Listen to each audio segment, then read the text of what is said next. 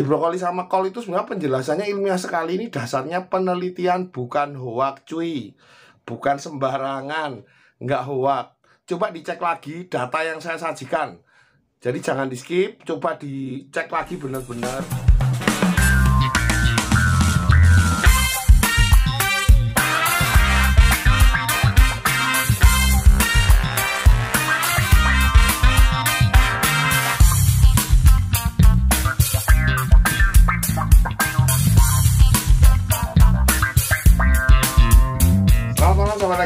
Agak gelap tapi nggak apa-apa. Yang penting isinya ya. Jadi malam ini saya pengen pengen bicara sesuatu lagi-lagi ketika saya eh, Apa ya Semangat seperti ini tuh Kadang-kadang ada sesuatu yang unik Yang mungkin di komentar di Youtube saya itu yang agak nyeleneh dan nggak tahu saya ceritanya dan bagaimana kok ini bisa keluar. Tapi nggak apa-apa. Ini biar dibahas kalian biar biar buat temen teman-teman bisa open mind. Oke kita bahas. Jadi gini teman-teman, mungkin bagi teman-teman yang kemarin sudah ngeliat vlog saya di brokoli sama kol ya, di brokoli sama kol. Di brokoli sama kol itu sebenarnya penjelasannya ilmiah sekali. Ini dasarnya penelitian bukan hoak cuy, bukan sembarangan, nggak hoak. Coba dicek lagi data yang saya sajikan. Jadi jangan di skip, coba dicek lagi benar-benar bahwa kita itu eh, saya itu pengennya niatnya berbagi. Jadi bukan sekedar pengen cari sensasi. Dan saya nggak jualan kopi sama brokoli ya saya nggak ada tendensi untuk jualan kopi sama brokoli. Jadi teman-teman dipahami dulu kenapa saya nyampaikan ini? Karena eh, apakah saya itu jualan kopi sama brokoli sehingga saya buat vlog tentang kopi sama brokoli? Enggak kecuali saya jualan kopi sama brokoli itu nanti ada tendensi bahwa saya niatnya eh, apa namanya bukan berbagi tapi niatnya jualan kopi sama brokoli Yang dengan anehnya lagi di di di situ dicoba pakai kangkung segala macem terus burungnya lemes gitu loh. Teman itu ada yang tanya seperti itu. Lah sekarang kalau kangkung tahu kandungannya enggak? Wong kandungannya aja enggak tahu sok-sokan bicara loh kangkung itu kan zat besi dan orang kalau makan aja lemes. Jadi kalau kangkung kebanyakan ya lemes. Apa pun yang kebanyakan tuh efeknya nggak ada yang bagus. Nggak vitamin nggak pakan nggak apa nggak apa tetap aja nggak ada yang bagus kalau terlalu over. Kecuali memang sesuai dengan kebutuhannya nah kalau kangkung itu bisa buat konslet. Kasih jagung tiap hari itu bisa kon buat konslet. Ini konyol. Nggak ada yang bilang buat kasih brokoli tiap hari. Terus jadi konslet gitu loh. Itu hanya proses untuk menambah proses percepatan saja. Terus saya nggak pernah nyaranin pakai kangkung gitu loh. Dan ketika ada orang nyoba nggak dikasih millet sama sekali dikasih kangkung jagung aja tiap hari selama tiga hari apa selama empat hari. Ini pola pikir yang saya bilang agak konyol gitu loh. Karena udah tahu yang namanya kangkung dimakan manusia aja pengaruhnya efeknya lemes. Gitu loh. Jadi kayak nggak pernah mempelajari. Mereka hanya apa teman beberapa teman yang komen ini nggak apa ya nggak tahu fungsinya tapi asal pakai. Dan ketika salah pakai terlalu over pakan terlalu over kangkung terlalu over apa apa akhirnya nyalahin yang ngasih eh, apa namanya ngasih membagikan sesuatu dan akhirnya jadi salah paham. Nah ini kan konyol gitu loh. Coba di, diperhatikan dulu nyimaknya yang jelas detail satu-satu gitu loh. Wong orang burung birahi gostang dinaikin birahinya nganu terus jadi bunyi. Berarti kalau secara kesimpulan saya lihat bahwa burung birahi tinggi birahi kawin dulu. Ini banyak salah paham kayak gini. Burung birahi kawin dinaikin lagi nanti sampai birahi bunyi. Wah kalau birahi ini semakin ketinggian ya enggak bunyi-bunyi malah macet. Iya. Gitu loh. Konsep jebol birahi udah hilang dari udah lama.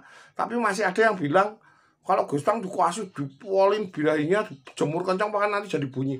Kata siapa? Saya sudah nyoba bolak-balik malah nggak jadi bunyi. Kalau nggak tidur malah gestangnya tambah parah. Gitu loh. Jadi supaya teman-teman paham supaya ini pemula jangan salah paham saya coba mengedukasi takutnya gara-gara vlog yang seperti ini ini yang buat kacau buat rancu bukan niat berbagi tapi karena pemahamannya belum paham tapi asal jeplak asal ngomong gitu loh. Itu yang jadi masalah. Mohon maaf saya agak keras karena ini biar teman-teman paham ya. Saya tujuannya edukasi saya tidak berniat menjatuhkan siapa pun. Tapi ini saya edukasi yang benar supaya teman-teman lebih paham. Berarti kalau burung birahi tinggi eh, ditinggikan terus keluar birahi bunyi berarti kesimpulannya nggak usah nggak usah cari yang birahi bunyi atau yang karakter seperti itu. Berarti ada yang menyim, berarti yang menyimpulkan seperti itu berarti berpikir bahwa semua burung bisa konslet. Saya nggak usah repot-repot cari yang birahi bunyi sembarang burung aja wes kasih terus dibuat ditinggiin. Kalau nanti gestang ditinggiin lagi terus nanti keluar birahi bunyi gitu. Hmm tenang enak. Ini yang buat salah paham. Semoga nggak salah paham ya.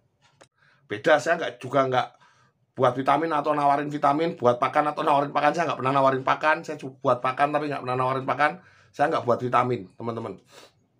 Nah, ketika ada pertanyaan, Om, eh, apa namanya, brokoli, pakai brokoli sama kopi sama pasti konslet. Nah, ini yang agak nggak nggak masuk akal, agak konyol saya bilang. Kenapa ya? Gini, dasar konslet itu bukan seperti orang main sulapan bukan seperti membalikan telapak tangan, bukan seenaknya aja terus pakai pakai brokoli sama kobis terus langsung konslet. Itu proses waktu, juga butuh perawatan. Orang apakah dengan brokoli sama kol terus di nggak dirawat terus konslet? Saya hanya memberikan tambahan supaya teman-teman lebih mempercepat prosesnya. Baik pakan kenceng. Ini yang yang heboh lagi. Orang itu tuh membiarkan vitamin bilangnya untuk naikin birahi. Terus akhirnya uh, untuk burung-burung yang susah birahi. Ini kan nggak masuk akal. Daripada pakai bahan-bahan kimia yang nggak nggak jelas ya kan? Terus beli vitamin mahal-mahal. Wong tak sarankan pakai yang murah loh kobis kol. Kok cari yang aneh-aneh malah vitamin ceritanya. Kan nggak masuk akal banget gitu loh ini apa ya? Kadang-kadang saya tuh aneh dia dia ngunggulin vitamin sementara saya ngasih sesuatu yang alami. Kan beda jauh. Kalau mau beli vitamin yang murah-murah aja teman-teman nggak usah pusing. Saya pun nyaranin pakan saya pakan saya tuh nggak mahal pakan saya mahal. Tapi itu dicampur sama millet putih pakaiannya pun nggak polos.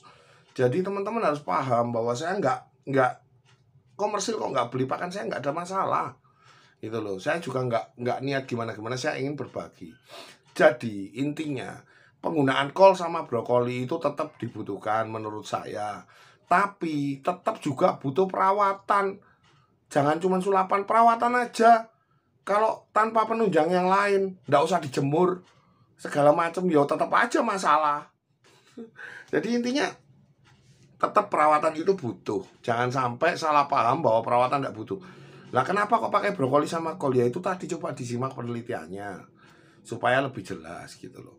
Jadi ada orang yang bilang kalau vitamin nggak apa-apa katanya.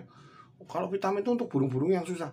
Lawang dikasih brokoli sama kopi saja katanya masalah gitu loh. Katanya apa pasti konslet lah. Vitamin apa pasti konslet? Ayo pada jamin. Kan enggak juga gitu loh. Saya tuh di ketika ada pertanyaan seperti ini konyol. Brokoli sama kopi dijadikan masalah. Dia ngomong apa namanya nggak pasti konslet tapi ketika ngomong vitamin, dia ngomong untuk pendongkrak burung-burung birahi. Lo vitamin ini vitamin apa hormonal sih sebenarnya? Kalau vitamin itu kesehatan, memang pengaruhnya kalau burung sehat bisa birahi. Tapi larinya kan nggak langsung birahinya. Gitu loh. Jadi pemahaman ini yang kadang-kadang nggak masuk akal gitu loh. Saya malam ini pengen bahas masalah itu. Jadi kalau masalah millet putih bisa nggak pakai millet putih polos? Bisa, saya sudah ungkapkan di vlog kalau nyimaknya vlog setengah-setengah ini kayak gini akibatnya. Nyimaknya vlog itu jangan setengah-setengah. Zaman dulu tuh pakai millet putih juga bisa birahi. Kalau ngomongin kayak gitu nanti akhirnya pak pakai millet putih aja, nggak usah diapa-apain, pakai jemur aja, bisa naik birahi sendiri, nggak usah pakai vitamin, sama aja toh, nggak pakai brokoli atau nggak pakai vitamin. Jadi kadang-kadang tuh lucu, kadang-kadang tuh lucu. Niatnya tuh mau jualan vitamin, bilang aja daripada nanti susah gitu loh.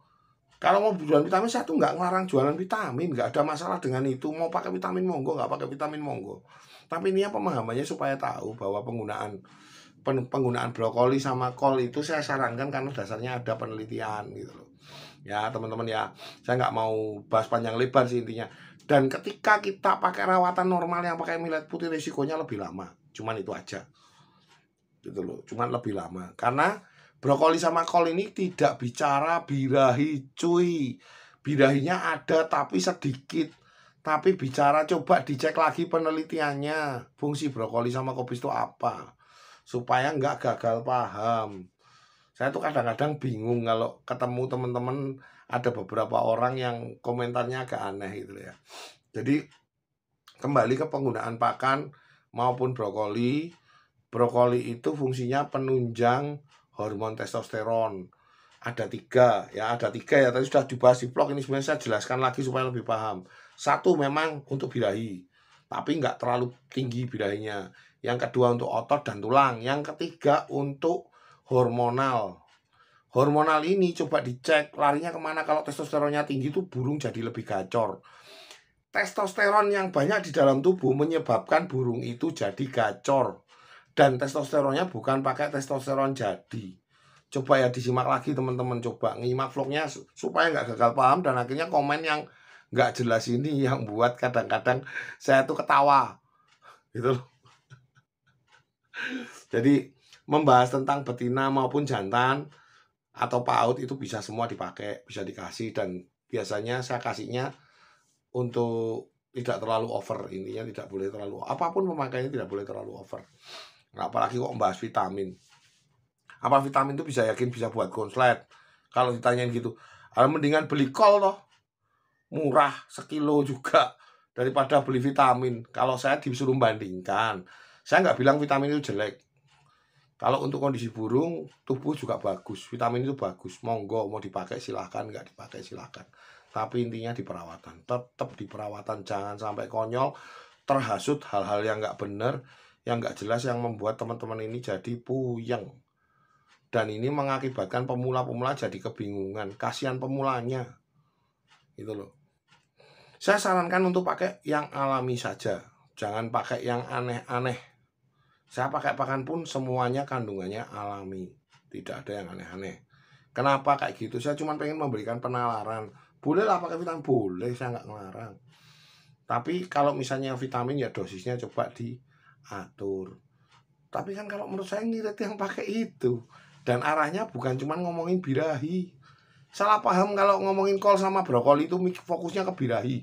Salah paham besar. Gitu ya teman-teman, saya nggak akan membawa sepanjang lebar. Ini cuma sekilas vlog saya. Semoga teman-teman ini uh, bisa paham dan bisa mengerti apa yang saya sampaikan ini. Ini saya cuma mengedukasi supaya nggak gagal paham. Takutnya gagal paham. Gitu ya. Segitu dulu. Salam minum. Tetap semangat. Masalah.